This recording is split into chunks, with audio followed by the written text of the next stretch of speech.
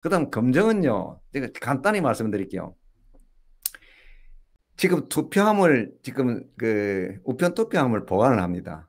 그거를 다 투입을 하고 구멍을, 구멍에 투, 투입 구멍을 또 봉인을 합니다. 그리고 그 열쇠, 그 투표함 밖에 는 열쇠를 또 한지 종이로 봉인을 합니다. 그러면 그것을 봉인 해제할 적에는 반드시 선거관리위원회 위원, 정당 위원, 이해관계자 입회하에 뜯어야 되지. 그거를 우리 멋대로 선관위 직원이 뜯었다가는 부정선거라고 난리 나고 옛날 그 고로 사건 있지요. 예. 고로 사건이 그런 사건이에요. 그런데 법원 직원이 더구나 법원에는 그런 일을 하는 사람들 아닙니까? 그거를 더구나 선거 재검의 그 투표지를 봉인을 안 해놓고 봉인을 멋대로 대법관이 해제를 했다. 그거 조재현 대법관도 수준 이하 대법관이에요. 이거, 이거 법관 자질이 없는 사람이에요. 그 기본이에요. 선관위 위원장을 한 번 해왔으면 절대 그런 짓을 안 합니다. 그러니까 선관위 위원장 경험도 없고 하니까 내가 법이다. 내가 루이 16세다는 식으로 해버렸는 거예요. 그러면 솔직한 말로 내 말씀드릴게요. 폐기 있는 변호사들 같다면 야, 이 루이 16세야 재판하는 거야 뭐야? 이 고대 사회야 이렇게 주장해야 되는 거예요. 어때 매갈이 없는 젊은 변호사들이 들어가가지고 진짜 완전 수모를 당했는 거예요. 솔직한 말로 원고는 아무것도 몰랐고 결국 몰라서 진 겁니다. 박사님 세상 만사가 그렇습니다. 알아야 그 집어먹는 거예요. 알으라고 내가 정보를 줬음에도 불구하고 그 자들이 그 인쇄 전문가들의 말을 빌리려면 한 행동을 보면은 2003년 한나라당 재검에 그 수많은 백 몇십 명의 변호사가 들어가도 하나도 못 찾아낸 그 결과를 또 19년 이후에 제가 또 봤습니다. 아, 진짜. 그럼 이제 재검표 상황에 대한 그런 진단이나 이런 부분들은 이제 예, 예. 조금 이따가 좀 자세히 다루더라도 예, 예. 제가 이 사건을 볼 때는 그냥 탄핵 사유, 그 대법관의 탄핵 사유가 되고도 남음이 있고 예, 그렇죠. 사유로 부정선거와 별도로 예, 그런 맞습니다. 한국의 역사상 초유의 사태. 예, 예. 대법관이 증거물을 위조해 가지고 원고 측에게 예. 제공했다. 아 그리고 이 사건으로 예. 대법원이 선관위하고 그냥 단순한 공모 관계가 아니고 완전히 그냥 해법 관계에 있다는 그런 의심을 확정시켜 준거 아니냐. 예, 그렇게 보는데 그 점에 대해서 어떻게 보십니까? 그거는 저 공감이고요. 옛날부터 제가 그렇게 주장해 왔습니다. 주장해 왔고 그 제가 지금 이거 선거 무효 소송의 판단 기준 2003 수 26, 제 16대 선거 무효 소송 그 판결, 사기 판결이 어떻게 되었냐면은 이용훈 대법원장이 중앙선관위 피고 대리인으로 가가지고 허위 준비 서명을 집어넣었습니다. 그 허위 준비 서명을 증거 확인도 하지 않고 그대로 인용을 해버렸습니다. 완전 그렇게 16대 대선 선거무효 소송이 사기 판결이 됐습니다. 그 사기 판결을 그 형법의 선거 사범 사건에는 양형 기준이 되고 그 민사 소송에도 기준이 되었습니다. 그렇게 뭡니까? 자동으로 부정선거가 양산되는 그런 사기 판결을 만들어낸 대법원입니다. 그러기그 장면을 보고 대법관들은 법, 대법관들이 대한민국의 법치주의와 대법원의 모든 근위를 다 무너뜨렸습니다. 그래서 지금 보면은 그 판결문을 사소하려고 발버둥을 치고 있는 거예요. 선관위하고 유착이 돼가지고 선관위 부정선거를 그때 방망이를 두드리가 정리를 했으면 이런 일이 없는데 왜 정리를 못했느냐. 대법관 한 명이 중앙선관위원장입니다. 시도, 시도위원회는 시도 그 법원장, 부시구는 부장판사 이상이 근무를 하게 됩니다. 그 판사가 270명 됩니다. 그 270명이 목이 다 날아가게 되는 거예요. 그 사기 판결을 내고 역사를 완전 대한민국 민주주의와 법치주의를 완전히 무너뜨린 중범입니다. 중범. 이거는 어마어마한 사건이에요. 대한민국에서. 예, 예. 음. 자, 그러면 이제 한번 조금 더 이제 진전을 한번 시켜보시죠. 그러면 네, 이제 예. 재검표, 재검표 이제 3회 일어났지 않습니까? 6월 28일, 예, 그렇죠. 예. 8월 23일, 8월 30일 예. 이렇게 나타났는데 그 부분에서 이제 이제 선거 무효 소송을 계속 진행해 오시고 또 투쟁해 오시는 입장에서는 어떤 말씀을 시청자들에게 좀 전하고 싶습니까? 그 재검은요, 재검이 아니었습니다. 그 대법원, 대법관에 의한 그 사기, 재판 사기입니다. 재판 사기. 내다바에 친 사기입니다. 사실은 검증할 필요 없는 것을 검증을 하다 유도를 했고, 그리고 뭣도 모르는 변호사들은 그 따라가는 것이고, 그랬고, 그거 세상천지 초등학생들 데려와도 여기 프린트지하고 인쇄된 거 확인할 수 있습니다. 그 인쇄 전문가 딱 오고 프린트 전문가 딱 와서 딱 보면은 확인되는 거 아닙니까? 그게 어려운 것 같으면 제가 말씀을 안 드리겠습니다. 그래서 현장에서 바로 어 이거 프린트 된 거, 인쇄된 거 가려내면 끝나보는 겁니다. 그래서 에, 정규 투표지가 하는 것은 전 다 무효 처리하고 무효 요율을 가려내서 그대로 개수만 하면은 그 재검은 끝나는 것입니다. 그런 것을 오도방정을 떨면서 봉인도 하지 않고 가지가 또 위조 변조를 하고 그렇게 대법원이 지금 굉장히 쫓기고 있는 거예요. 쫓기고 있으니까 막다른 골목에 가서 쥐들이 하는 행동이에요. 쥐들이 하는 행동. 예, 예. 지금 말씀하신 것 중에 그 예, 제가 예. 주목하게 되는 것은 상당히 쫓기고 있는 것 같고 막다른 예, 예. 골목에서 지들이 하는 행동 것 같다. 예, 그렇게 예. 느끼신다는 것이죠. 예, 지금. 그럼 조슈아님, 조슈아님은 이제 8월 23일 날 양산 의뢰만 들어가셨다가 쫓겨 나오시고 나머지는 이제 다 이렇게 거의 다 물론 뭐 마지막 날에 다 4시 정도 나오셨지만 그래도 거의 참사하신 건데 3차례 그 재검표를 보는 전문가로서의 그런 소회라든지 이런 부분은 어떻습니까? 그 일단은 저기 그 영등 그 영등포 을에 대해서 조금 이제 어 얘기를 조금 하고 싶은데요. 네. 왜냐면은 이제 영등포를 어 현재 직접 들어가신 분이 어 이제 공병호 TV에 자주 출연하시는 분들 중에서는 어 제가 있고 어 다른 변호사도 있지만 인쇄 전문가분이 있었거든요. 그래서 이제 어 저하고 인쇄 전문가분이 아무래도 그 변호사의 눈으로라기보다 일반인의 눈으로 좀 봤을 음. 때 그런 현상들이라든지 좀 객관적으로 볼 수 있지 않았을까. 이제 대법관에 하는 행동들도 대법관이 하는 걸로 보이지 않고 아, 저 사람이 어떤 의도를 가지고 저런 행동을 하는가 이런 것도 좀 객관적으로 좀 볼 수 있었거든요. 그래서 일단은 그 영등포에서 이제 있었던 일들을 약간은 그 시간 순서를 약간 참고적으로 근거를 해서 어 조금 이제 어 여러 가지 변호사들이 좀 잘했던 부분 그 조금 약간 아쉬웠던 부분 이런 식으로 조금씩 이야기를 해보면서 좀 진행해 볼까 합니다. 예. 어, 어떠신지 모르겠는데 우리 한성, 예, 한성천 전 위원장님도 어, 그 인쇄 전문가랑 좀 이제 만나서 이야기를 하는 과정에서 안에 그 재검표 영등포울 재검표 과정을 좀 자세하게 좀 들을 기회가 있었다고 합니다. 음. 어, 그렇기 때문에 이제 어, 공병호 어, 박사님도 TV 그 공병호 TV에서 어, 현장에 가셨던 변호사님들도 인터뷰를 좀 많이 했기 때문에 지금 여기 계신 이 세 분들이 어, 현장에 굳이 뭐 가지 않았다 하더라도 어, 음. 제가 현장에서 있었던 일을 해도 어, 많은 부분에 어, 분석도 하실 수 있고 공감도 또 하실 수 있으리라 이렇게 어, 보고 있습니다.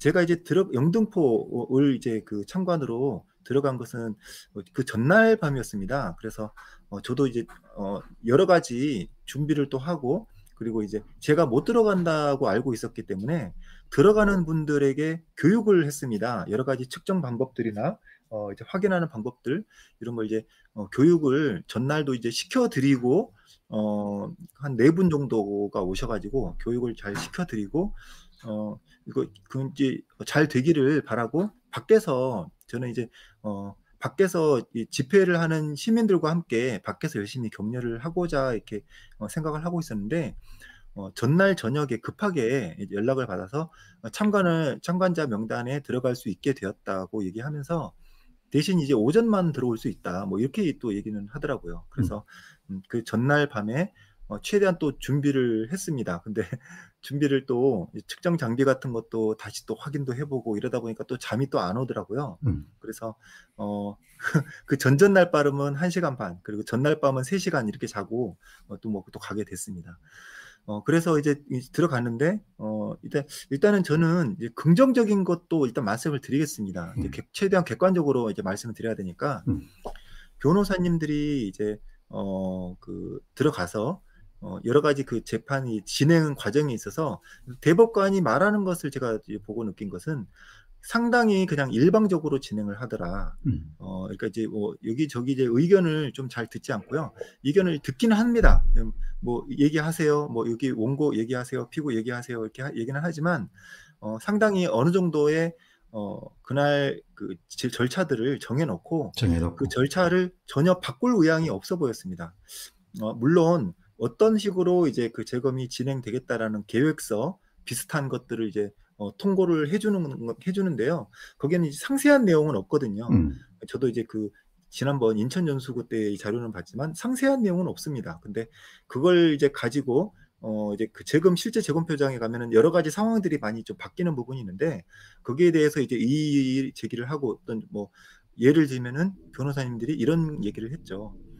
이때까지 가짜 투표지가 많이 나왔는데 음. 이, 이 부부 그런 가짜 의혹이라고 얘기했죠. 이 변호사님들은 좀 약간 객관성을 유지해야 되니까 그런 부분을 이 지적을 하면서 어, 숫자를 세는 것에 음. 중요성을 두는 것이 아니고 어, 각각의 그 표가 진위 여부를 확인하는 것이 더 중요하다라고 얘기를 하면서 어, 투표지 분류기의 이미지 스캔 이 작업을 뒤로 미루는 것을 요청을 했습니다. 근데 선관위가 이제 거부를 했고 그 이유는 어, 이것을 그러면 미리 조금 얘기를 해야 어느 정도 준비를 하지. 이걸 당장 그날 와서 얘기를 하니 이미 그 숫자 세는 그 분류기 그 숫자 세면서 이제 스캔하는 세팅을 다 세팅을 끝내놨는데 그걸 이제 얘기하면은 이 세팅 바꾸는 것이 상당히 애로점이 있다. 딱 이렇게 얘기를 했습니다. 근데 그런 부분이 또 전혀 틀린 말은 아니거든요. 이제 이런 부분에서 우리가 어떤 요구하는 바가 맞는 부분이 있고 그 부분이 정말 합당한 부분도 있지만 어, 이제 이 변호사님들이 사전에 어떤 회의나 이런 걸 통해서 미리 좀 재판 이전에 서면으로 제출을 해서 그럼 이걸 안 받아들여질 것 같지는 않거든요. 하지만 뭐 받아 이게 받아들여지든 안 받아들여지든 재판부가 이제 원래 그 방식을 고수를 해서 밀어붙이던 간에 우리는 서면으로 충분히 이런 어, 우리의 원하는 바를 사전에 충분히 고지를 했는데 그 부분에서 그것을 받아들이지 않은 것에 또 이의 제기를 또 할 수 있는 부분이고 항의를 또 할 수 있는 부분이라고 생각하는데 어떻게 보면은 어, 이런 느낌이었습니다. 아니 그 이들의 말이 맞다 해도 그걸 왜 오늘 오늘 아침에 당장 이걸 얘기를 하느냐라는 부분이었는데 그 부분은 정말 좀 어쩔 그 좀 일부 그렇게 말하는 게 대법관이 말하는 게 또 맞는 부분이 이, 이, 있다고 느껴졌기 때문에 좀 이게 그 부분 좀 안타까웠다. 예, 그거 좀 말씀드리고요. 네, 우리 전 위원장님 예, 얘기하실 거 있으면 주, 예, 어, 말씀드릴게요.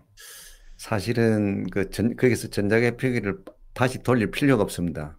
쓸데없는 행동을 하면서 그 재검 시간을 빼앗으면서 어떻게 하면 이거 위조 변조를 확인하지 못하게끔 하려고 한 전술에 불과합니다. 왜 그러냐면 2003년도에 전자개표기 안 돌렸습니다. 투표지 위주로 전다 조사 다 했습니다. 그러고 전자개표기 돌릴 이유가 없습니다. 그러고 원고가 전자개표기 돌릴 이유가 없다. 왜냐, 이, 거 지금 현재는 투표지만 위조 변조 이걸 확인하면 된다.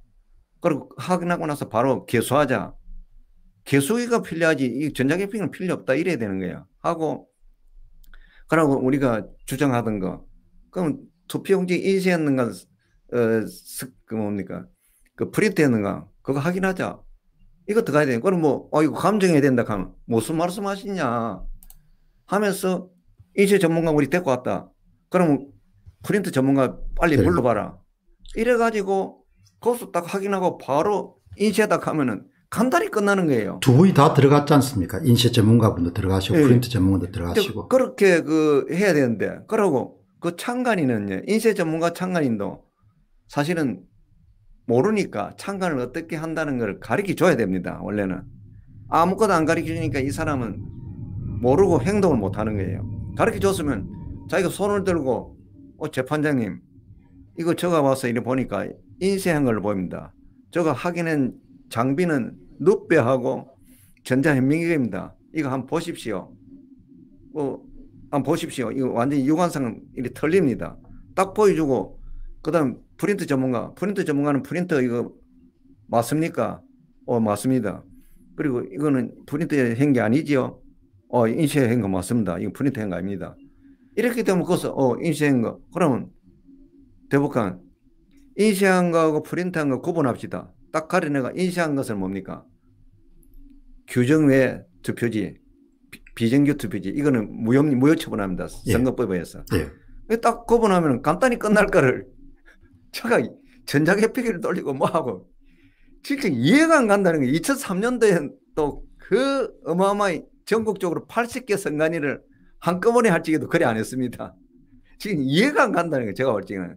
그렇게 이번 대법원 재판부는 완전히 부정선거 은폐하려고 마음을 먹고 재판 관리를 그렇게 하려고 작정을 해놓고 변호사들한테 위협을 주면서 야 네가 법전에서 먹고 살려면 알지 이런 식으로 하면서 운동했네 그러니 뭡니까 재금이 무효입니다 왜냐면 창간이는 자유로서 오는 분위기에서 이 언제든지 이의 제기할 수 있어야 됩니다 자유스러운 분위기에서 이의 제기할 수 있도록 분위기를 만들어야 되는 게 재판부입니다 자유스러운 분위기에서 이의 제기 못하도록 막으면 그거는 재검이 될 수가 없습니다. 저 개표장에서 참관인들을 그렇게 호박아 치고 접근 못하게끔 하면은 그거는 개표 무효가 됩니다. 조슈아님. 그 예. 구성 요소 중에 반드시 참관인이 있어야 되기 때문에 예. 그렇습니다. 예. 조슈아님 보시죠. 그 당일에 뭐 그 예를 들면은 그게 필요가 없으니까 당일에 그렇게 하는 게 필요가 없으니까 그냥 투표지 진위 여부를 판별하는 것부터 우선적으로 하시는 게 좋겠습니다. 당일날 이제 박주현 대표 변호사를 비롯한 부분이 어, 대법관에게 요구한 거나 또 서면으로 제출하거나 간에 일단 대법관 자체가 진실을 밝힐 의지가 전혀 없기 때문에 그냥 서면으로 했던 당일에 했던 간에 다 거부를 했을 것 같아요. 그 양반들이. 아니 그 저거를 그 어떻게 작성해야 되냐면 선거법에 관련된 규정을 갖다 대면서 아주 세밀하게 요구를 해야 됩니다. 요구를 하면은 그러면은 대법관은 그거를 안 할락 하면은 그게 반대되는 확실한 또 근거를 대야 됩니다. 근거를 못 대면 자기는 일방적으로 할 수가 없습니다. 그렇기 때문에 제가 사전에 우리가 방송하면서 이런 구체적인 요구 사항을 적어가라. 적어가지고 제대로 싸우라는 것이었는데 세 번 다 그런 행위를 하지 않고 일방적으로 재판부 하자는 대로 가버렸는 거예요.